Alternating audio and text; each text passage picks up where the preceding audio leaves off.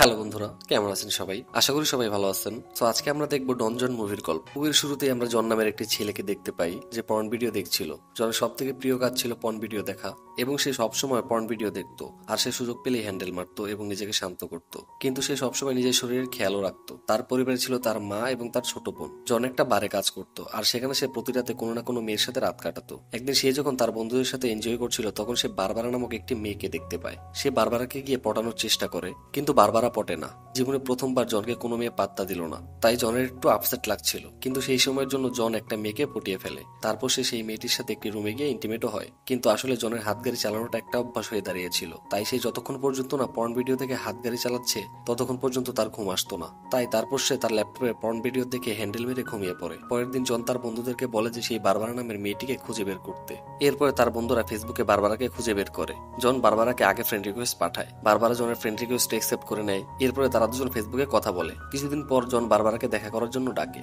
এরপরের দিন বারবারাও জনের সাথে দেখা করার জন্য চলে আসে। তখন বারবারা জনকে বলে যে, তুমি আমাকে কেন দেখা করতে বলেছ? সেটা আগে বলো। তখন জন একটু পাম মারে। জন বারবারাকে বলে যে, তুমি খুবই সুন্দরী মেয়ে। আর আমি তোমার মতো সুন্দরী মেয়ে এর আগে কখনোই দেখিনি। আর বারবারা এটা শুনে জনের প্রতি দুর্বল হয়ে যায়। বারবারা জনকে বলে যে, চলো আমরা মুভি দেখতে যাই। আসলে জন ভালো মুভি দেখতে পছন্দ করতো না। কিন্তু তবুও সে বারবার সাথে মুভি দেখতে যায়। এরপরে তারা থিয়েটারে বাইরে এসে একে অপরকে কিস করে। এভাবেই তারা প্রায় সময় দেখা করত। কিন্তু একদিন জন বারবারাকে বলে যে, আমাদের এখন ফিজিক্যালি ইন্টিমেট হওয়া দরকার। কিন্তু তখন বারবারা জনকে বলে যে, না। এবং বারবারা জনকে এটাও বলে যে, আগে তুমি তোমার ফ্যামিলির সাথে আমাকে পরিচয় করিয়ে দাও। এরপর আমি আমার ফ্যামিলির সাথে তোমাকে পরিচয় করিয়ে দেবো। তারপর যা হবার হবে। আর তোমাকে তো একটা ভালো চাকরিও জোগাড় করতে হবে। তুমি আর কতদিন বারে কাজ করবে? তখন জন বারবারার সমস্ত কথাই মেনে নেয়। কারণ জন বারবারাকে খুবই ভালোবাসত। এভাবেই দিন চলতে থাকে। প্রায় এক মাস পার হয়ে যায়। জন এবং বারবার দেখা হওয়ার এক মাস অ্যানিভার্সারি উপলক্ষে তারা একটি পার্টির আয়োজন করে। এখানে জন বারবারের সাথে তার বন্ধুদের পরিচয় করিয়ে দেয়। পরের দিন জন গিয়ে বারবারের পরিবারের সাথে দেখা করে। জন বারবারের পরিবারের সাথে পুরো একদিন সময় কাটায়। অপরদিকে জন একটা ভালো চাকরি পাওয়ার জন্য একটা নাইট ক্লাসে জয়েন হয়। একদিন নাইট ক্লাস শেষে বারবার জনকে বাড়িতে ডাকে ইন্টিমেট হওয়ার জন্য।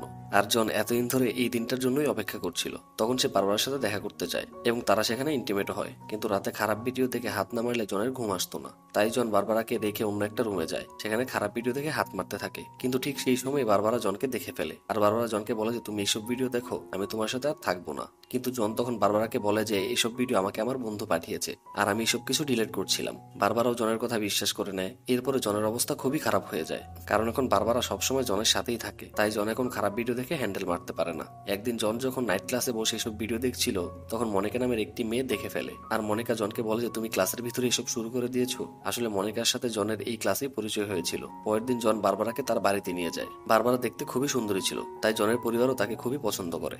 আস্তে আস্তে জনও খুবই পরিবর্তন হয়ে যায়। সে আর খারাপ ভিডিও দেখে না, আর হ্যান্ডেলও মারে না। আসলে জন বারবারাকে খুবই ভালোবাসতো, তাই সে বারবারার জন্য এসব খারাপ কাজ ছেড়ে দিতে চায়। একদিন বারবারা যখন জানতে পারে যে জন তার বাড়ি নিজেই পরিষ্কার করে, তখন বারবারা খুবই রেগে যায়। আর সে বলে যে ঘর বাড়ি পরিষ্কার করা চাকরের কাজ, আর আজ থেকে তুমি এসব করবে না, তুমি একটি চাকর রেখে নাও। তখন জন বুঝে যায় যে, বারবারা তার লাইফটাকে কন্ট্রোল করতে চাইছে। অপরদিকে জনের সাথে তার ক্লাসের সেই ফ্রেন্ড মনিকার খুব ভালো বন্ধুত্ব হয়ে যায়। জন তার জীবনের সমস্ত কথাই মনিকার সাথে শেয়ার করে। আর মনিকাও জনের প্রত্যেকটা কথাই শুনে একদিন জন রুমে গিয়ে দেখে যে বারবারা খুবই রেগে আছে, কারণ বারবারা জনের ল্যাপটপে কিছু খারাপ ভিডিও দেখতে পেয়েছে। আর তাদের মধ্যে এইসব নিয়ে অনেক ঝামেলা হয়। জন বারবারাকে বোঝানোর চেষ্টা করে যে এইসব খারাপ ভিডিও নয়, আর এটাতে খারাপ কিছু নেই। তখন বারবারা বলে যে, না, এসব কিছুই খারাপ। এখানে তাদের মাঝখানে তুমুল ঝগড়া হয়, আর তাদের মাঝখানে ব্রেকআপ হয়ে যায়। এর পরের দিন থেকে জন আবার আগের মতোই হয়ে যায়। সে পার্টি করতে থাকে, মেয়েদের নিয়ে ফুর্তি করতে থাকে, আর রাতে ভিডিও দেখে হাত গাড়িও চালাতে থাকে। আর জনের বন্ধুরাও খুব খুশি ছিল, কারণ তারা পুরনো জনকে ফিরে পেয়েছে। অপরদিকে আমরা দেখি যে, জন মনিকার সাথেও ইন্টিমেট হয়, কিন্তু মনিকাও খুবই ভালো মেয়ে ছিল। মনিকা জনকে বলে যে, তুমি এইসব খারাপ ভিডিও কেন দেখো? তখন জন মনিকাকে বলে যে, এই ভিডিওতে যে মজাটা আছে, সেটা বাস্তবে নেই। ভিডিওতে যে ফিলিংসটা আসে সেটা বাস্তবে কখনোই আসে না। তখন মনিকা জনকে বলে যে, তুমি যদি কাউকে ভালোবাসো, তাহলে তুমি বাস্তবে এর থেকেও বেশি মজা পাবে। এইভাবে জন আর মনিকার মাঝখানে একটা সম্পর্কের সৃষ্টি হচ্ছিল। একদিন জন মনিকাকে তার রুমে নিয়ে যায়। তখন মনিকা খুবই কান্না করছিল, কারণ কয়েকদিন আগে মনিকার হাজবেন্ড এবং তার ছেলে একটা কার অ্যাক্সিডেন্টে মারা গিয়েছিল। এই কথা শুনে জনেরও খুব খারাপ লাগে। তখন জন এবং মনিকা ইমোশনালি অ্যাটাচমেন্ট হয়ে যায়, আর তারা সেখানে ইন্টিমেট হয়। জন এই প্রথমবার কোনো মেয়ের সাথে রিয়েল ভাবে ইন্টিমেট হয়ে খুবই আনন্দ পেয়েছিল, কারণ জন এখন মনিকাকে ভালোবেসে ফেলেছে। এরপরের দিন জন বারবারের সাথে দেখা করে। আর যা কিছু হয়েছে তার জন্য সরিও বলে। বারবার জনকে বলে যে, আমি শুধুমাত্র তোমার কাছ থেকে একটা জিনিস চেয়েছিলাম, আর তুমি সেটা আমাকে দিতে পারোনি। তখন জন বলে যে, তুমি আমার কাছ থেকে একটা না অনেক কিছুই চেয়েছিলে।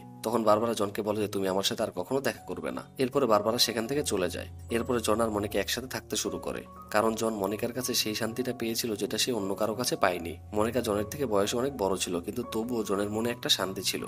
আর এই মুভিটা এখানেই শেষ হয়। তো বন্ধুরা, আমার মুভি এক্সপ্লেনেশন যদি আপনাদের ভালো লেগে থাকে, তাহলে আমার চ্যানেলটিকে অবশ্যই সাবস্ক্রাইব করবেন। ধন্যবাদ।